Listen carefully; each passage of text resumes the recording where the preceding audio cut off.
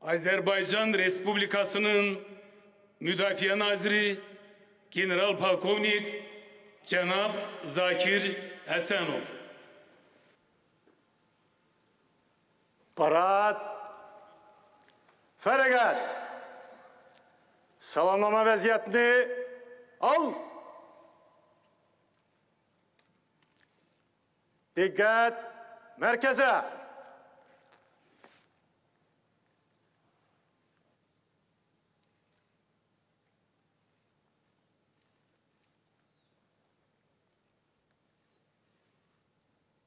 Azerbaycan Respublikası'nın prezidenti, Silahlı Kuvvetlerin Ali Başkomandanı Cenab İlham Aliyev.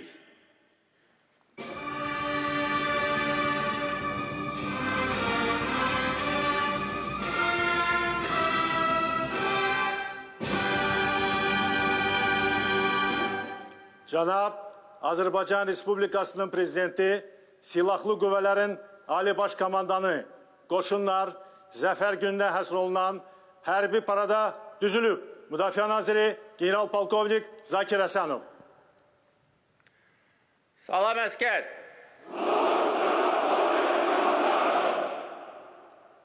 Halkımızın İmamilli lideri Ulu Önder Heydar Aliyev'in ve ülkemizin söylenliği, erazi bütövlüğü uğrunda şehitli zirvesine ucalan vətən övladlarının xatirəsini yad etmək üçün sükut elan edilir.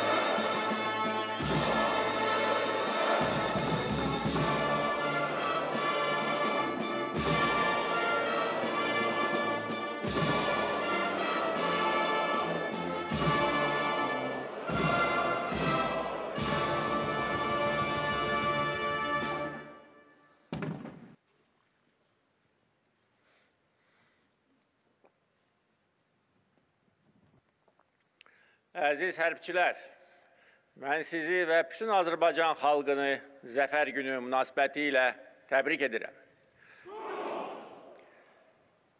Üç il bundan əvvəl Qarabağın tacı olan Şuşa şəhəri işğalçılardan azad edildi. Ondan bir gün sonra düşmən ordusu təslim oldu və ağ bayraq qaldırdı. Beləliklə, İkinci Qarabağ müharibəsi Azərbaycan dövlətinin tam zəfəri ilə nəticələndi. Bu tarixi hadisədir. Azərbaycan xalqı uzun illər ərzində işğal dövründə bir nöqtəyə vururdu ki, tezliklə bizim torpaqlarımız işğalçılardan azad edilsin. Biz bu müqəddəs günü hər gün, hər saat öz əməyimizlə, işimizlə yaxınlaşdırırdıq. Birinci dəfə Azərbaycan xalqı mənə böyük etimad göstərəndə 20 il bundan əvvəl prezident kimi əziz xalqıma söz vermişdim. Əlimdən gələni edəcəyəm ki, biz ərazi bütövlüyümüzü bərpa edək. Həm seçkilər ərəfəsində, həm and içmə mərasimində doğma xalqıma söz vermişdim ki, gün gələcək biz Azərbaycan dövlət bayrağını işğal altında olan torpaqların hər bir güşəsində qaldıracağıq. Xatırlayıram, 5 il bundan əvvəl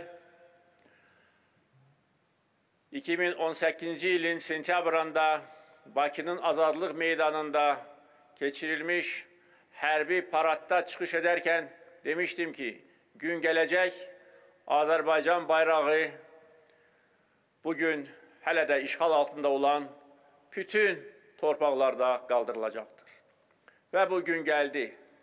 Bu günü bizə bəxş edən müzəffər silahlı qüvvələrimiz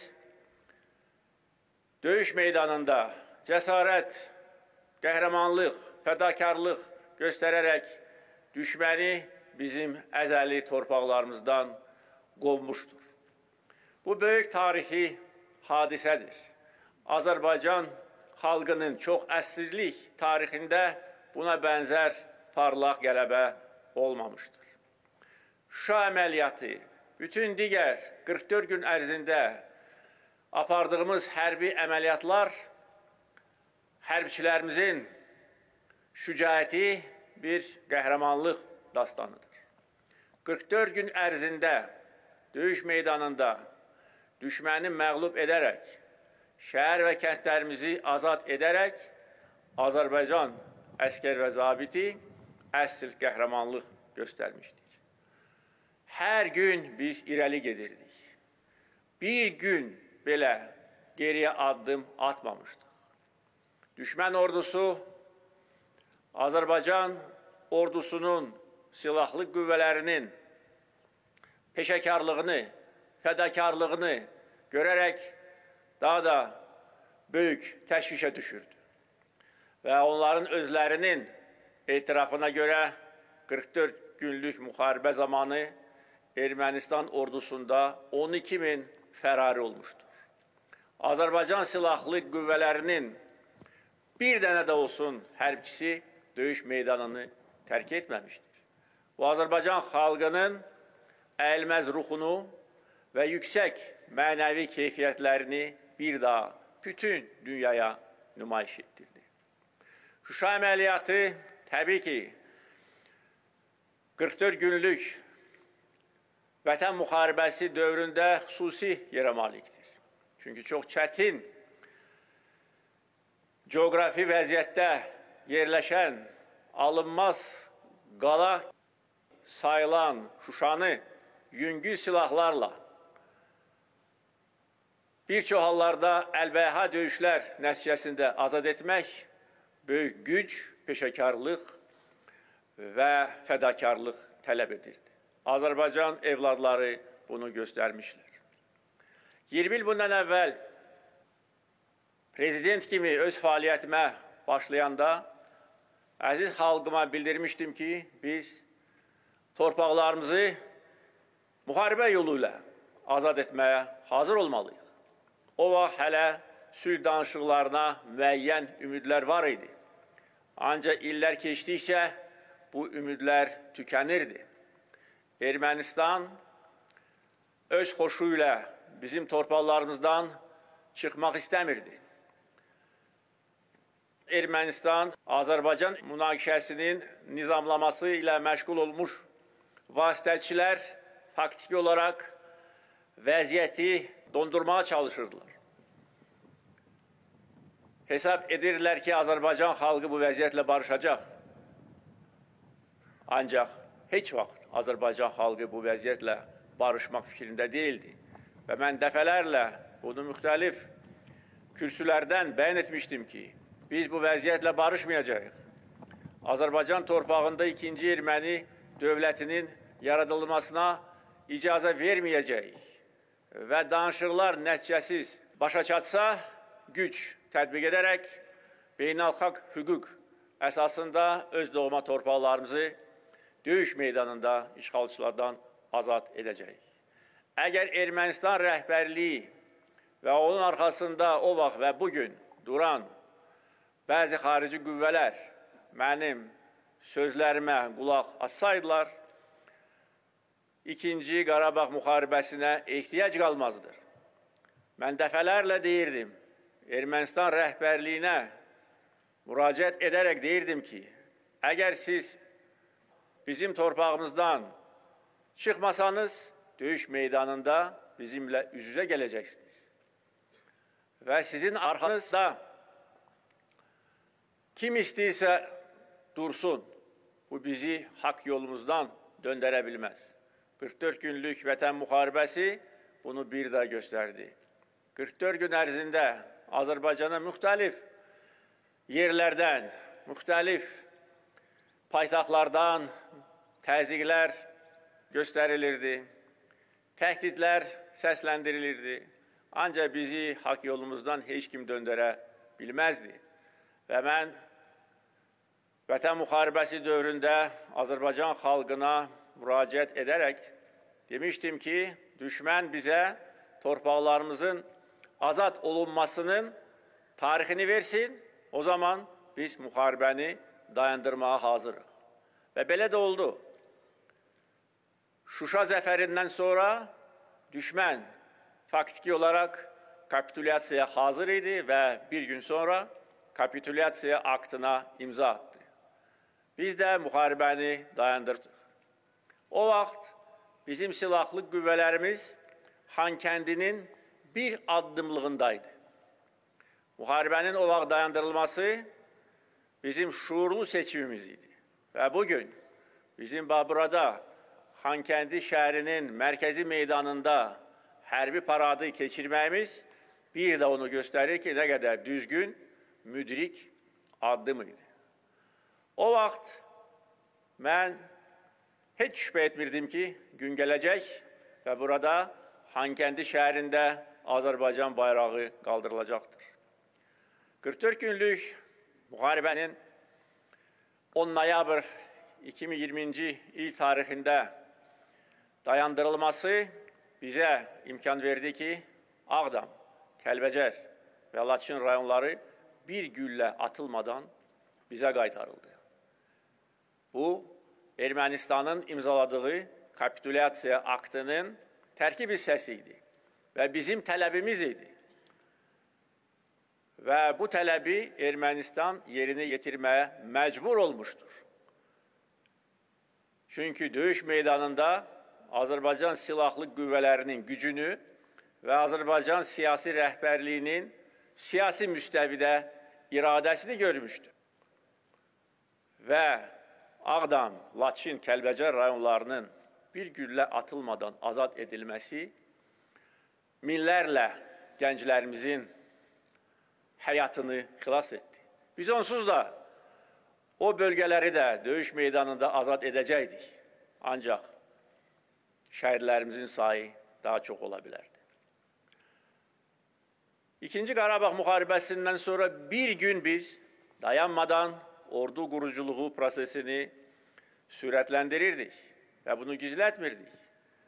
Və dərhal Qarabağ bölgəsində bütün vacib olan məntəqələrə yerləşdik. Eyni zamanda uzun illər ərzində işğal altında qalmış Azərbaycan-Ermənistan sərhədini nəzarətə götürdük. Sərhəddə mövqelərimizi tədricən yaxşılaşdırdıq və müxtəlif tədbirlər nəticəsində Azərbaycan-Ermənistan sərhədinin böyük hissəsində ən əlverişli mövqelərə malik oldu. Nə üçün biz bunu edirdik? Çünkü biz bilirdik ki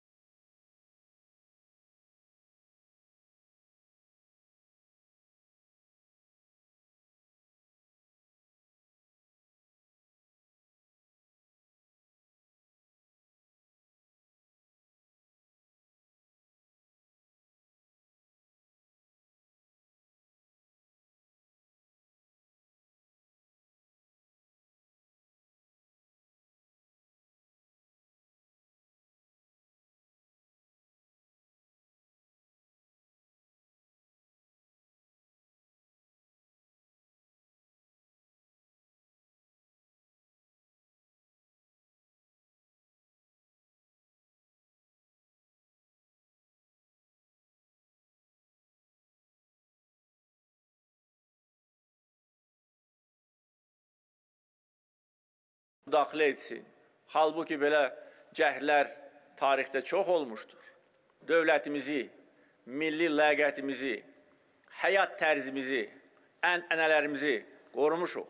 Ki, heç kim bizim işlərimizə burnunu soxmasın. Və əlbəttə ki, birinci nömrəli vəzifə ordu quruculuğu idi.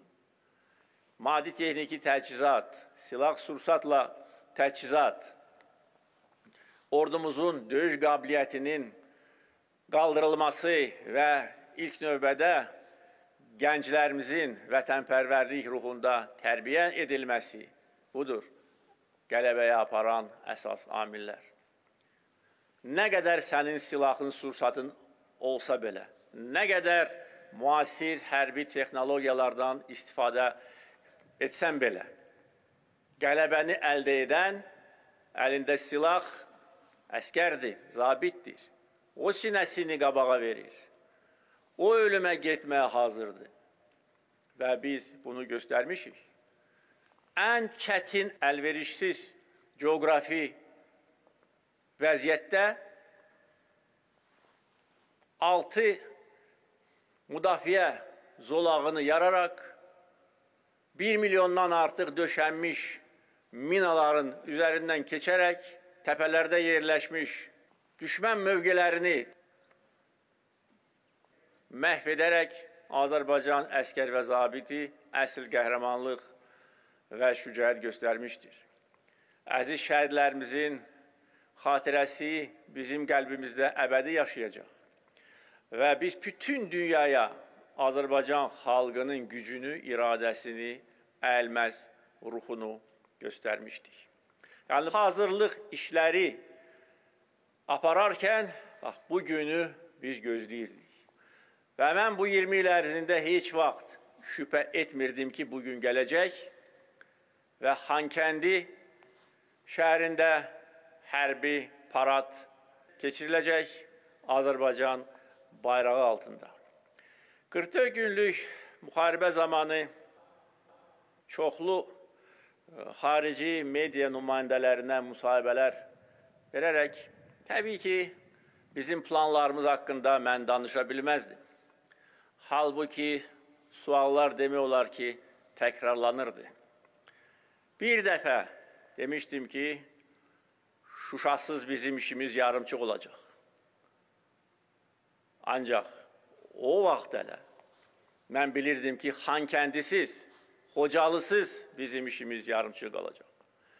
Üç il bundan əvvəl mən əmr verərək Azərbaycan ordusunu dayandırdım. Və bir də demək istəyirəm ki, tarix göstərdi ki, nə qədər düzgün addım idi. Ancaq o gündən, bax, bu günə qədər, sentyabr ayına qədər hər gün biz işləyirdik, çalışırdıq ki, tam şəkildə Azərbaycanın suverenliyi bərpa edilsin.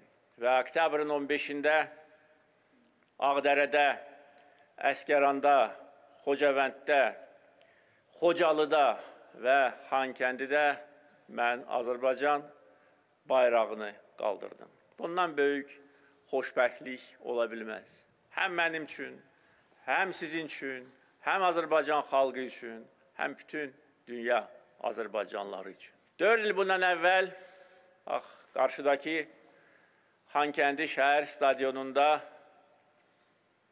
Ermənistanın baş naziri çıxış edərkən təkəbbürlə demişdir, Qarabağ Ermənistandır və nöqtə.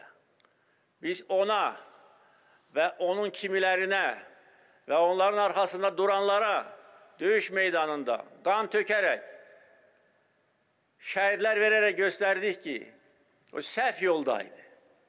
Biz göstərdik ki, Qarabağ Azərbaycandır.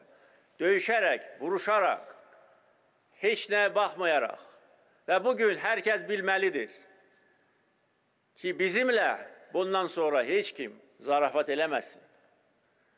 Ermənistan rəhbərliyi əgər revanşist fikirlərlə yaşayırsa, Ermənistanın arxasında dayanan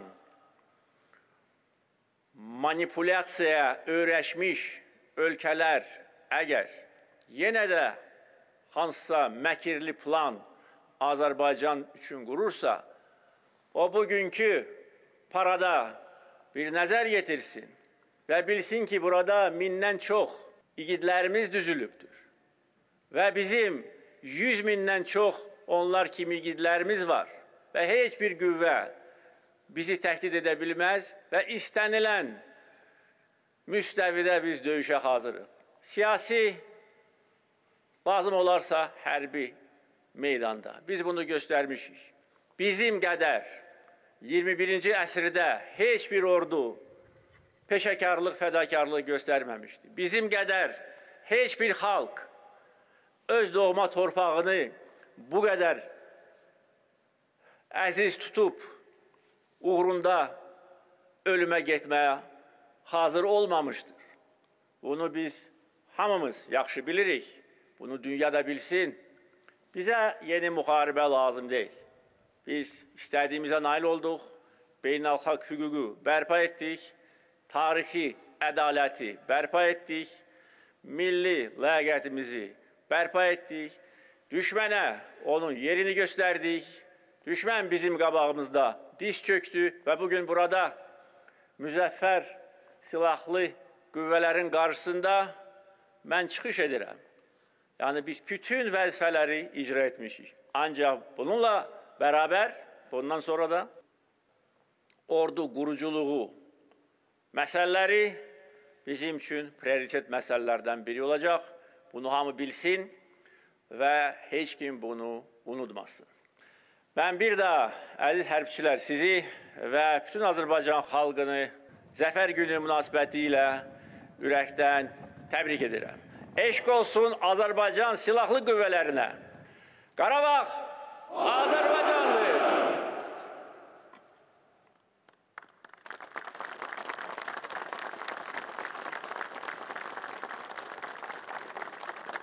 Silahlı qüvvələrin parad heyətlərinin təntənəli keçidi başlanır. Parada Azərbaycan ordusunun baş qərargah rəisi Zəfər və Qarabağ ordenli general polkovnik Kərim Vəliyev komandanlıq edir. Parad! Silah! Silah! Tenteneli başla!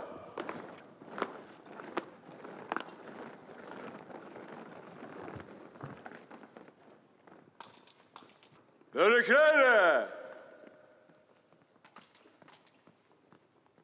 Mesafe bir cızıktar.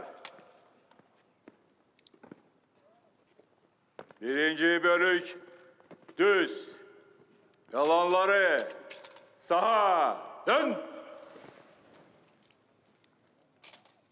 Dikkat. Saha. Addımla. Hoş.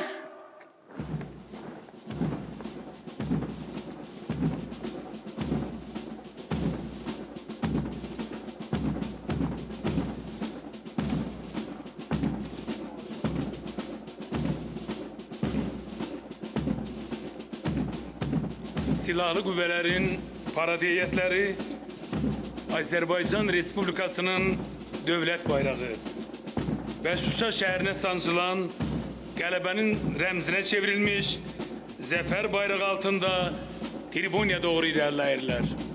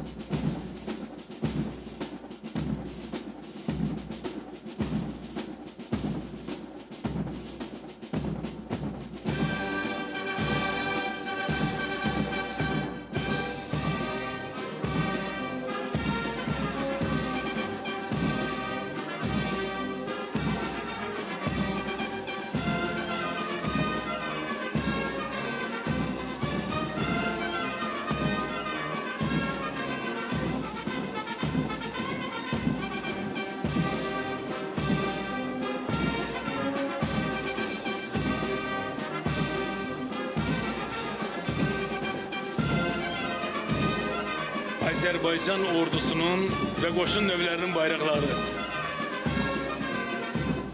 Lokal karakterli antiterör tedbirlerinde iştirak etmiş, Hərbi birleşmelerin dövüş bayrakları Xankəndi'nin merkezi meydanındadır.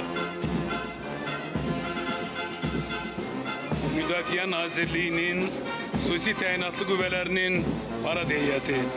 Parad heyətinə Vətən General Leytenant Hikmət Mirzəyev başçılıq edir.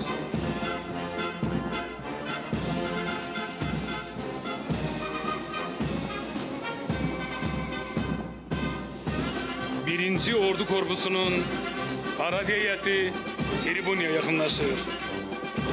Parad heyətinə Azərbaycan bayrağı və Rəşadət ordenli General Mayor Bilal Çompuzov başçılıq edir.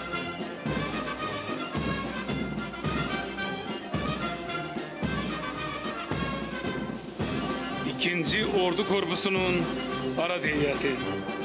Parad heyətinə Qarabağ və Rəşadət ordenli General Leytenant Mayis Bərxudarov başçılıq edir.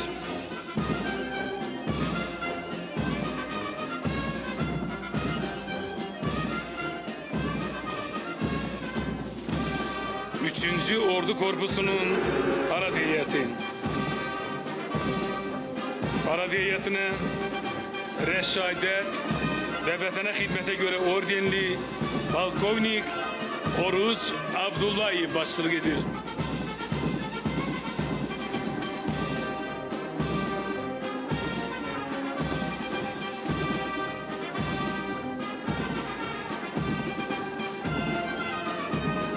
Dördüncü Ordu Korpusu'nun parad heyəti. Kara Devleti'ne Azerbaycan bayrağı ve Reşadet Ordenli General Mayor Münasip Babayev başlık edir.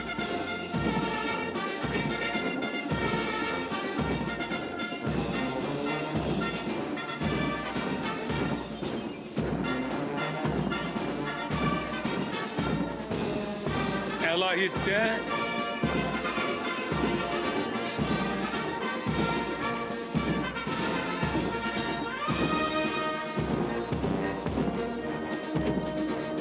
1. Ordu Korpusu'nun para heyeti, para heyetine Vətən Müharibəsi Qəhrəmanı Rəşadət Ordenli General-Mayor Kenan Seydo başçılıq edir. Əlahiddə Ümumqoşun Ordunun para heyəti.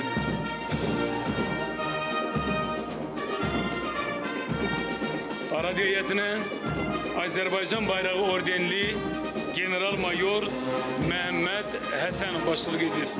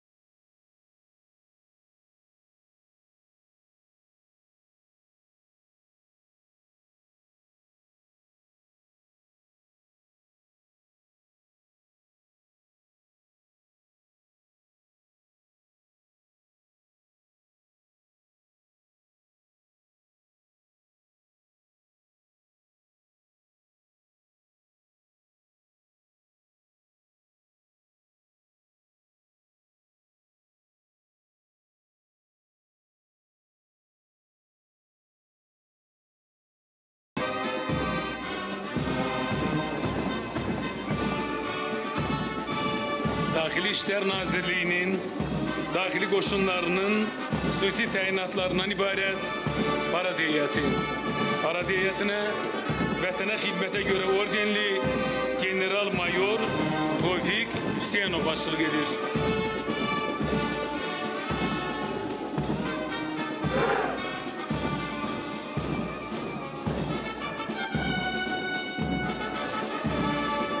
Dövlət Sərhəd Xidmətinin parad heyəti. Parad heyətinə Vətən Müharibəsi qəhrəmanı, Vətənə xidmətə görə ordenli General Mayor Babək Ələkbərov başçılıq edir.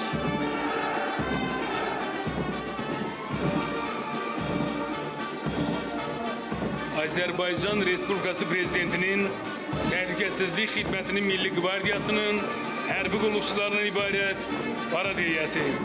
Parad heyətinə полковник лейтенант Эльдар гулиев басшылық етеді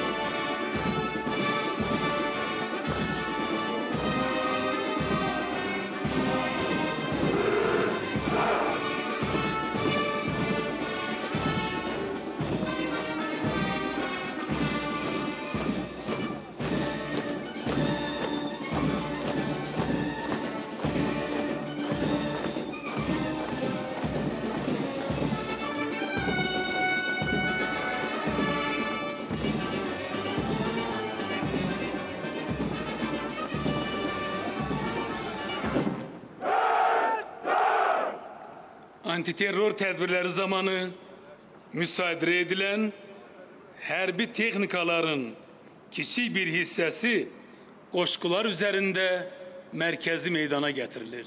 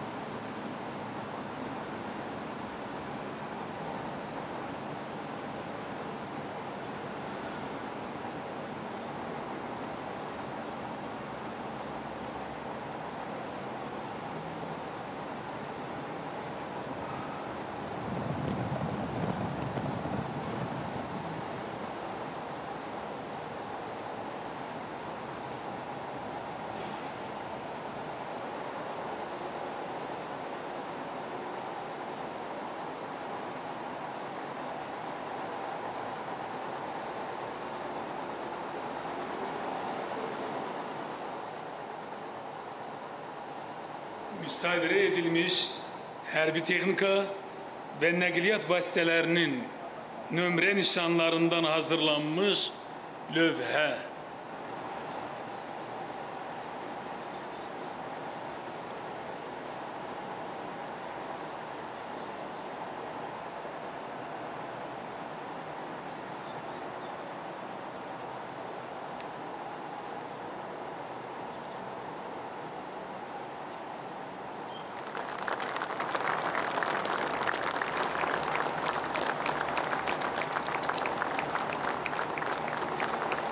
Vətən müharibəsində qələbənin 3-cü il dönümü münasibətilə Xankəndi şəhərinin mərkəzi meydanında keçirilən hərbi parad qələbə marşı ilə başa çatır.